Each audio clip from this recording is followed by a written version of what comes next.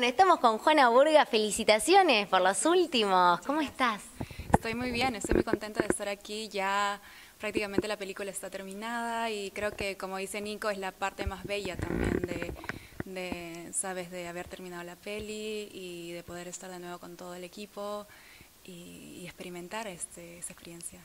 y también experimentar esta experiencia tiene que ver con eh, incursionar tu vida de actriz y te fuiste al podio, querida. Excelente. muchas gracias, muchas gracias. ¿Fue la primera vez?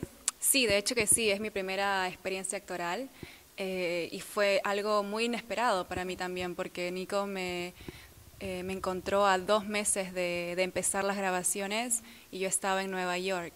Entonces, eh, sí, fue un, reto muy grande para mí, pero me gustó muchísimo la historia, me gustó el personaje y creo que lo pueden ver en, en, la representación en la película. Bien, sos peruana, trabajás en Nueva York como modelo y de repente te llega ese llamado. ¿Te preparaste en esos dos meses? ¿Cómo fue ese proceso? Bueno, fue un proceso súper intenso. Eh, sí, de hecho me preparé muchísimo.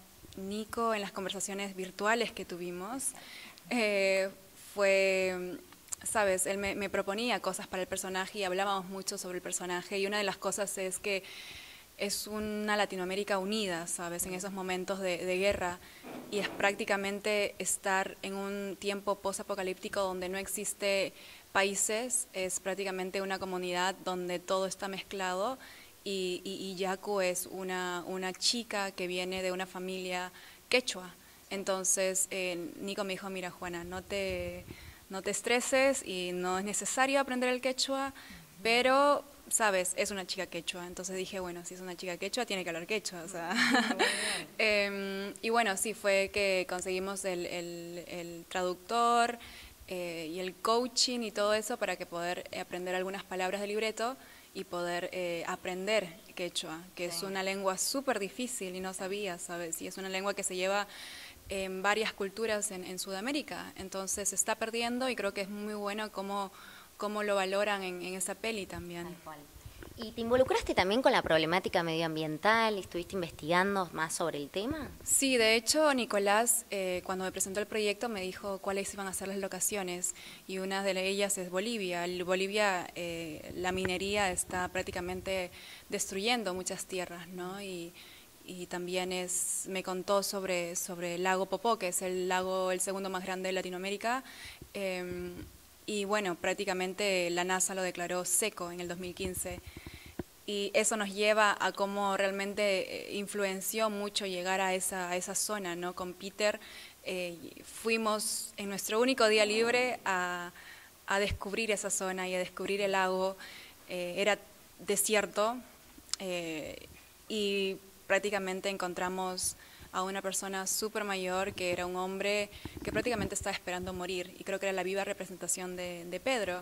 Y yo también encontré al regresar al hotel unas tres generaciones de, mujeres y ellas fueron la representación de Yaku y creo que somos las voces de esas personas que encontramos y fue algo súper potente para nosotros, ¿sabes? Poder encontrar esto.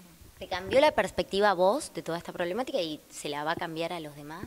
Sí, bueno, de hecho siempre he tenido una conciencia sobre, sobre cómo estamos dañando en la tierra donde vivimos, ¿sabes? Siempre he tenido esa, esa iniciativa, ¿sabes? De apoyar. De hecho, en Nueva York eh, trabajo con una, una ONG que se llama Parley for the Oceans, que protege a los océanos.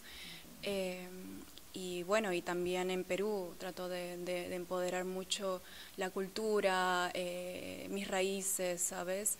Y tratar un poco de hablar cuál es lo que representa estar en, esta tierra y estar vivo. Y creo que es muy importante y todo eso nos lleva ahora a las problemáticas que está pasando ahora, porque la película también es un, es un supuestamente era un, un futuro lejano, pero realmente llegamos a Bolivia y las cosas están pasando ahí esas experiencias eran, eran presentes. Entonces eh, nos lleva a que nosotros también podríamos ser los siguientes últimos, ¿sabes? Habla la película, de esos últimos.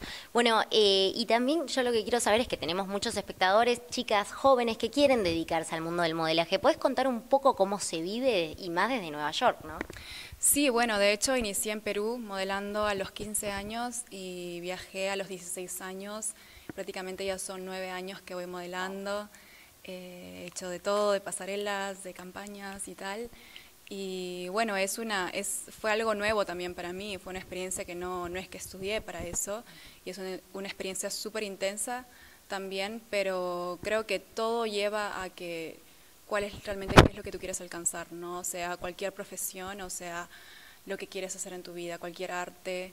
Y, para mí siempre las chicas que quieren hacer modelos es que si lo quieres hacer realmente, pues hazlo, ¿sabes? Y si es para ti y si, y si logras eh, enfocarte en lo que desees, puedes lograr muchísimas cosas. Y a veces representas, muchas chicas dicen, bueno, me represento de, ti y que quisiera ser como tú.